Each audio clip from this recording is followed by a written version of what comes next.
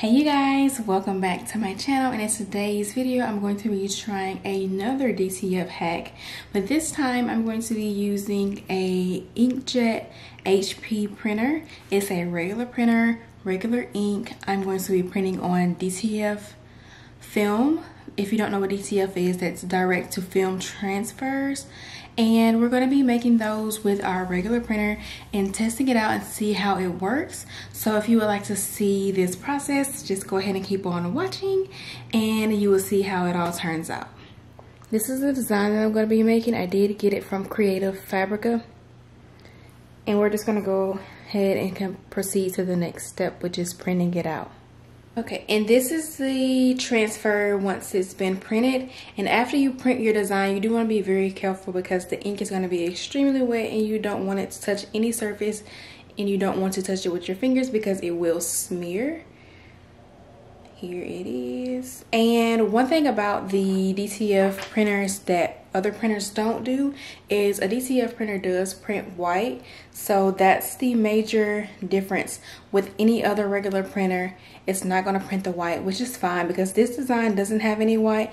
But if you are trying to print a design or test it out with a design that has white, do keep in mind that you may want to press your design on a white shirt because the design is not going to print out. The printer's not going to print out white unless it's a direct film printer. Okay, and now that we have that design printed out, we're going to do our powdering. You want to get some DTF powder and sprinkle it on the back. And then after you put your powder on it, you're going to cure it. You can do it with your heat press, which you could finagle it. Or if you have a convection oven, you can put it in the convection oven to cure the transfer. Okay, and in here I do have my DTF powder. I don't remember what brand of powder this is. Um, I believe it's Yamation, but I'm not for sure. And I do know that the transfers that I'm using are the Yamation um, transfers. I'll leave a link down below. So you just want to put the transfer in the powder and cover the entire design with the powder.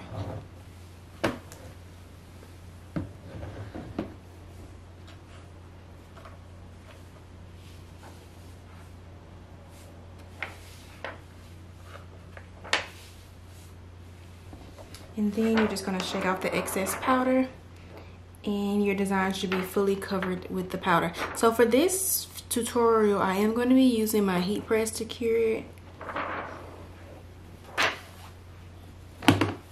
And I'm going to have my heat press on about 400 degrees. Okay, so I have my heat press set to about 116 and what you want to do is hover it over the design. You don't want to get it too close because you don't want the top of it to touch your design and it'll get or it'll get stuck. And you want to keep it like this until all of the powder is melted. And as you can see, it's sticking, unfortunately.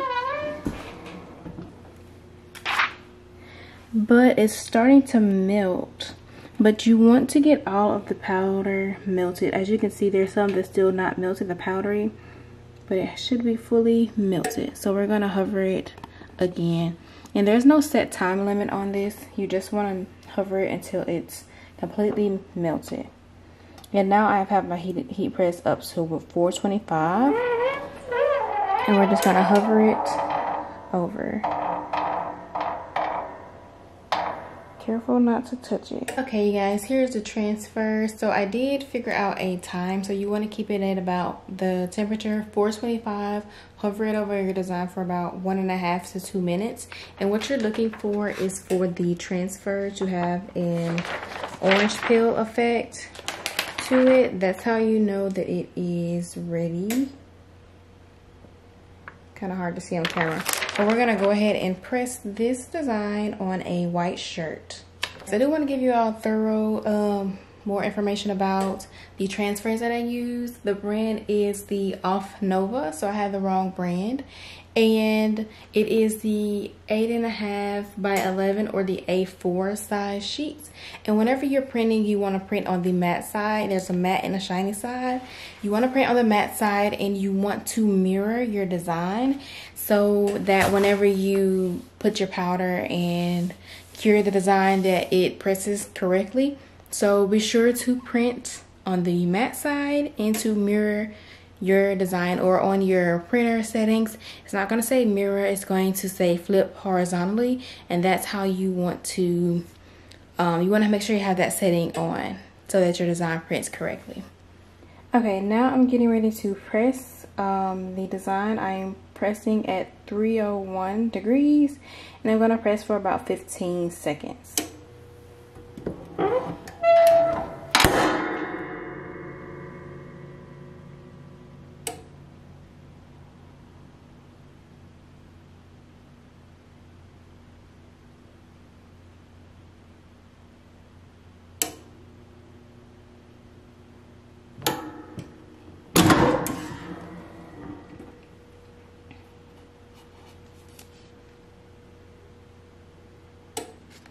And I do believe that these are cool peels, so I'm going to let, allow it to cool before peeling.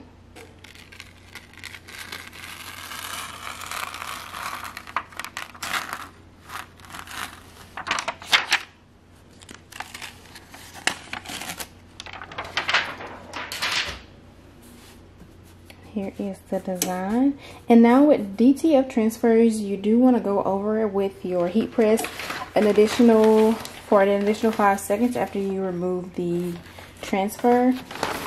So I'm going to just go over it, put my Teflon sheet over it, and go over it for about five more seconds.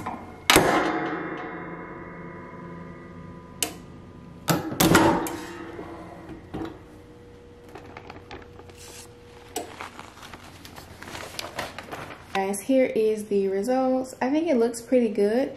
And i did decide to print it on a light pink shirt because i noticed that the light pink ink did not print out on the transfer so i'm assuming that any design that has white mixed in it will not print. Any color that has white mixed in it it's not going to print and it only prints the darker colors. So do keep that in mind whenever you're choosing a design. And now the moment of truth is going to be the wash test. I'm going to put this in a wash and see how it holds up to see if it's actually a method that you can use to add to your business. So if you would like to see how this is going to hold up just go ahead and keep on watching all right so here is the shirt after i've washed it.